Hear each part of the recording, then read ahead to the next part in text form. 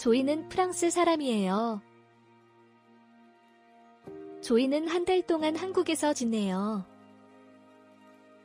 조이는 한국에서 기술자로 일해요. 조이는 한국 돈에 대해 잘 몰라요.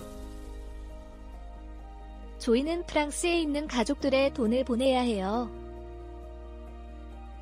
조이는 동료와 함께 은행에 가요.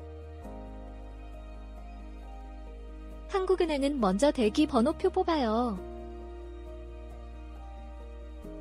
조이와 동료는 기다려요. 조이와 동료는 은행 직원에게 통장을 만들고 싶다고 말했어요. 은행 직원은 통장을 만들어줬어요. 조이는 온라인 뱅킹도 신청했어요. 조이는 신청서에 서명했어요. 은행 직원은 아이디와 비밀번호를 다시 확인해달라고 했어요. 조이는 은행 직원이 꼼꼼히 설명해줘서 고마웠어요. 대기 번호표를 뽑고 기다리는 사람이 많았어요.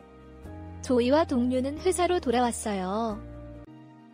조이는 프랑스 사람이에요.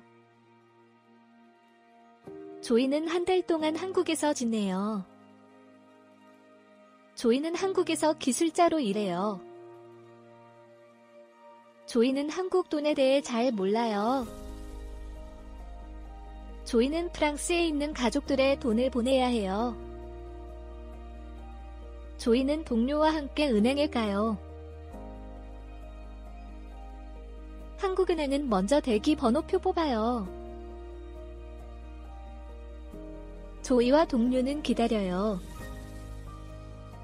조이와 동료는 은행 직원에게 통장을 만들고 싶다고 말했어요.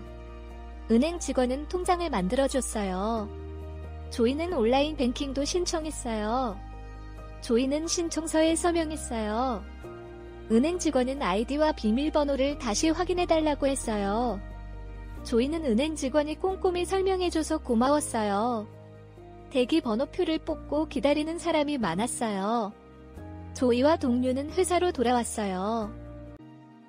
조이는 프랑스 사람이에요. 조이는 한 달 동안 한국에서 지내요. 조이는 한국에서 기술자로 일해요.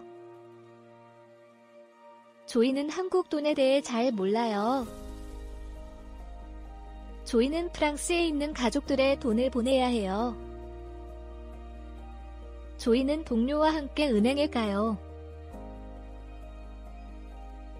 한국은행은 먼저 대기 번호표 뽑아요. 조이와 동료는 기다려요. 조이와 동료는 은행 직원에게 통장을 만들고 싶다고 말했어요. 은행 직원은 통장을 만들어줬어요. 조이는 온라인 뱅킹도 신청했어요. 조이는 신청서에 서명했어요. 은행 직원은 아이디와 비밀번호를 다시 확인해달라고 했어요.